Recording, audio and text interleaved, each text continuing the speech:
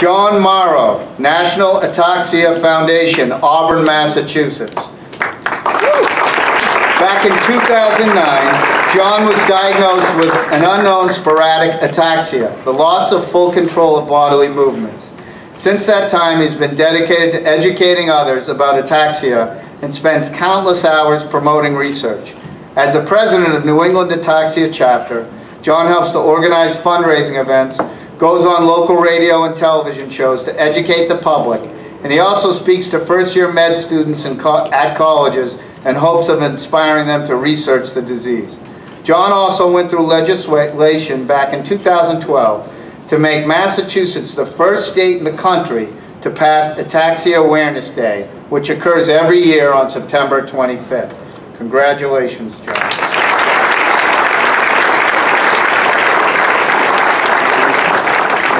Macy Miller, Greater Waltham Waltham, Massachusetts. For the past 10 plus years, Mace has been actively involved in actively volunteering at the Greater Waltham Arc.